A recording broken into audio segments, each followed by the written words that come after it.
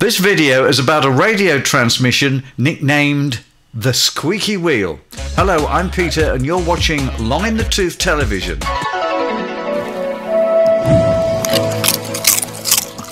I'm getting some interference on here. So, some inter. Oh no, that's me eating crisps. They're no good for you. The Squeaky Wheel is a Russian military station, and the squeaky wheel sound, it sounds a bit like a squeaky wheel because that is what is transmitted during its resting state. When it's not resting, it's passing on some information, usually coded information. The exact location is unknown, but it's thought to come from a location near Rostov on Don in Russia, apparently. First, let's have a listen to it. 5473 kilohertz during the day and uh, moving to 3828 kilohertz uh, for nighttime transmission.